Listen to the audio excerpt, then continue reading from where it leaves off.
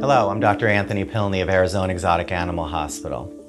And this is Wally, and today we're here to bring you up to speed on a very important disease affecting rabbits that you may have heard of. It's called rabbit hemorrhagic disease virus, and the disease is lethal and sweeping across the United States as we speak. And today we're going to discuss five important points about the disease as we educate and learn how we can protect our rabbits. First, RHD is moving fast.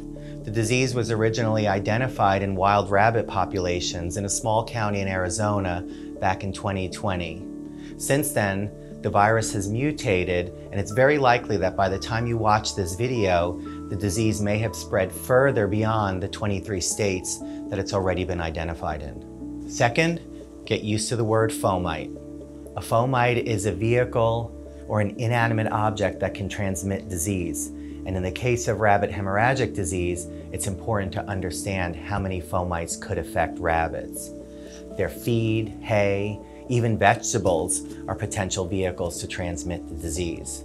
But we don't want you to panic. Basically, we need to understand there are steps that you can take to prevent the transmission of fomites. And remember, the fomite isn't the virus. The fomite acts as the vector to transmit the virus, which again is why we have concerns about the origin of feed, hay, and even vegetables that we feed rabbits. And again, speaking of transmission, don't forget about dogs and cats, because they certainly can act as fomites or vehicles to transmit the virus as well. Third, RHDV affects rabbits, hares, and pikas. But much like Wally here and his millions of friends and cousins, the disease does affect both wild and domestic rabbits. And rabbits are really the main focus of what we're looking at with this disease. Keep in mind, rabbits are the third most popular pet in the United States, and they deserve all the right care, veterinary attention, and addressing any of their medical needs that any other pet would. Having your rabbit seen by a veterinarian for annual physical exams, checking their vitals, taking their temperature, and any other necessary veterinary care are something that we owe to all of these rabbits. Fourth, RHDV is fatal, but it just takes a pinch to protect against it. And even if your veterinarian isn't familiar with rabbits, the procedure to give the vaccine is the same as any other vaccination that is routinely given.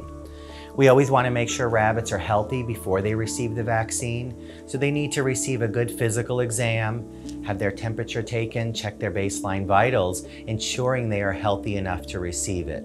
And again, just one pinch for protection, administering the vaccine under the skin, the same way your veterinarian administers any other vaccination, is a simple and straightforward process.